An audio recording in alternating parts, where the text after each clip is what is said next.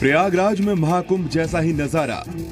अब देवभूमि उत्तराखंड से शुरू होने वाली कांवड़ यात्रा में भी दिखाई देगा। सियासत और अध्यात्म को एक साथ लेकर चलने वाले देश के सबसे बड़े सूबे, उत्तर प्रदेश के मुख्यमंत्री योगी आदित्यनाथ इस बार कांवड़ यात्रा की तस्वीर बदलने जा रहे हैं। 17 जुलाई से शुरू होने जा रही कांवड़ यात्रा को लेकर सीएम योगी ने प्रदेश के अधिकारियों को अभी से तैयारी शुरू करने का आदेश दिया है। योगी ने कहा है कि प्रयागराज में महाकुंभ की तरह ही कांवड़ यात्रा की भी तैयारी होगी। इसके साथ ही योगी ने साफ़ कर दिया है कि यात्रा के दौरान डीजे बंद नहीं होंगे, लेकिन सिर्फ़ भजन बजाने की ही अनुमति होगी।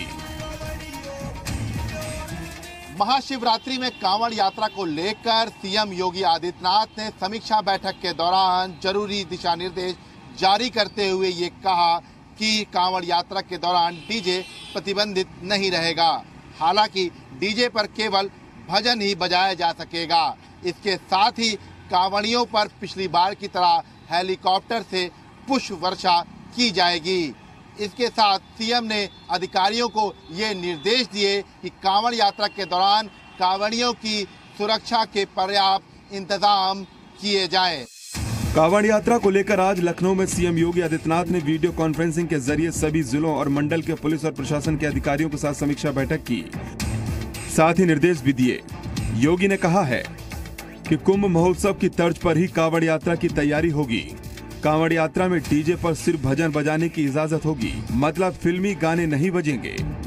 कांवड़ यात्रा के दौरान सुरक्षा की निगरानी हेलीकॉप्टर से होगी।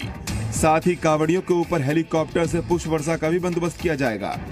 सभी जिलों के डीएम समय पर शिवालयों की व्यवस्था दुरुस्त कराएँ। वहीं यात्रा के दौरान स्वच्छता का भी पूरा ख्याल रखा जाएगा। इसके साथ ही प्लास्टिक के इस्तेमाल पर भी बैन लगाया गया है। इसके साथ ही योगी ने अधिकारियों से कहा है कि कावड़ यात्रा मार्ग पर जिस जगह कावड़ यात्री ठहरते हैं, वहाँ शराब के ठेके और अवैध बूचड़ खाने नहीं चलने चाहिए।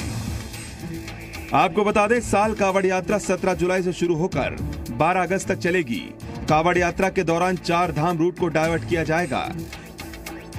सीएम योगी ने अधिकारियों को निर्देश दिए हैं कि कुछ लोग माहौल बिगाड़ने की लगातार साजिश रच रहे हैं, लेकिन वो अपनी मंशा में कामयाब नहीं हो पाएँगे। Bureau report, Zee media.